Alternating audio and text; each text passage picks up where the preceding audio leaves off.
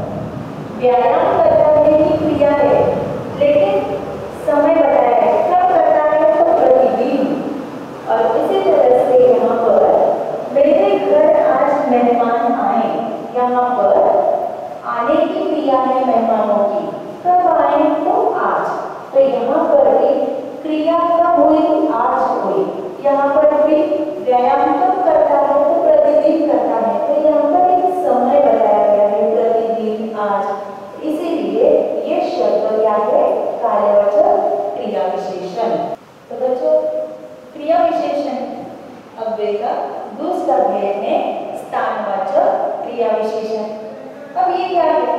किसे कहते हैं? देखो, जिस शब्द से क्रिया के होने या करने के स्थान का बोध होता है, उसे स्थानवाचक क्रिया विशेषण कहते हैं। उसका इस तरह से है।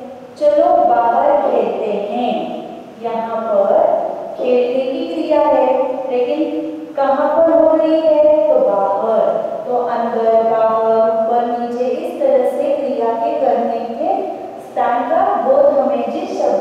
हो रहा है उसे हम कहते हैं स्थानवाचक क्रिया विशेषण तो यहाँ पर बाहर इस शब्द ने स्थान को दिखाया है, इस क्रिया के होने का। समझ में तो आगे बढ़ते रहे हैं हम।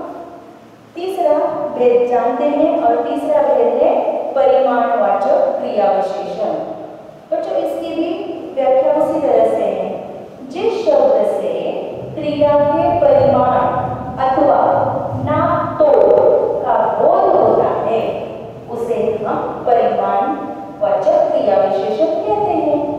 अब नाम तो देखो, जैसे कि कम खाना सेहत के लिए अच्छा है। यहाँ पर कम इस शब्द ने हमें परिमाण यानी मात्रा बताई है। नाम तो बताया है। तो इस तरह से यहाँ पर कम शब्द परिमाणवाचक क्रिया विशेषण का है जिस तरह से मनुष्य काफ़ी मेहनत करता है इस शब्द से हमें काफ़ी इस शब्द से हमें परिमाणवाचक का पता चला मात्रा का पता चला कि मेहनत कैसे करता है तो काफ़ी मेहनत करता है तो इस तरह से यहाँ पर परिमाणवाचक क्रिया विशेषण पहचानना है।